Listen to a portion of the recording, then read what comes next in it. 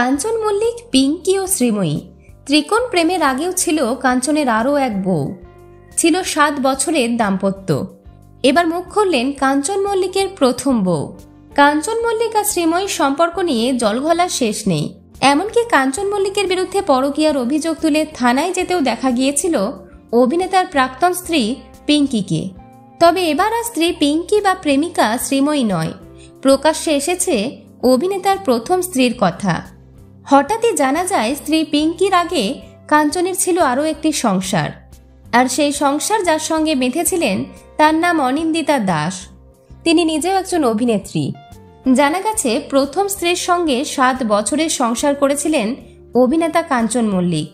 কিন্তু বর্তমানে যখন কাঞ্চন আর শ্রীময়ীর সম্পর্কে চারিদিকে গুঞ্জন উঠেছে, তখন হঠাৎই কাঞ্চনের প্রথম বিয়ের প্রসঙ্গে প্রথমবার মুখ খুলেছেন কাঞ্চনের প্রথম বউ অনিন্দিতা দাস।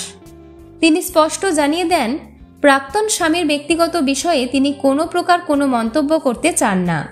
তিনি নিজের জীবন নিয়ে খুশি আছেন, তবে ভবিষ্যতে আর বিয়ে করতেও চান না। প্রসঙ্গত, এই মুহূর্তে জি বাংলার জনপ্রিয় ধারাবাহিক গৌরী এলোতে গৌরী শাশুড়ির চরিত্রে দেখতে পাওয়া যাচ্ছে অভিনেত্রী অনিন্দিতা দাসকে। ভিডিওটি ভালো লাগলে লাইক করুন এবং বিনোদন জগতে নিত্য নতুন খবর নিয়ে ফিরছি, সঙ্গে থাকুন।